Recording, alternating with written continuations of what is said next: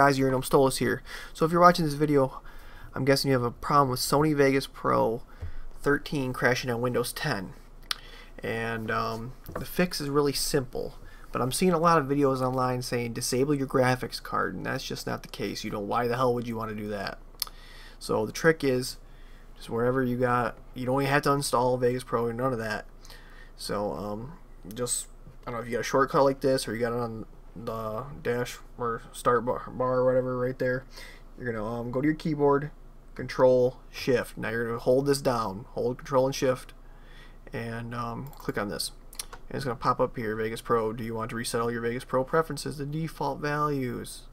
And you're gonna click this check mark delete all cache application data and you click yes and bam you're gonna thank me. You're gonna hit a like on my video and you're gonna subscribe to my channel and be like, thank you. Now I don't have to do this all over again and your Sony Vegas is going to work. Well, that's it for that video. Really simple. Um, like I said, give me a like, subscribe, and um, comment on the video. Peace, guys. Thanks.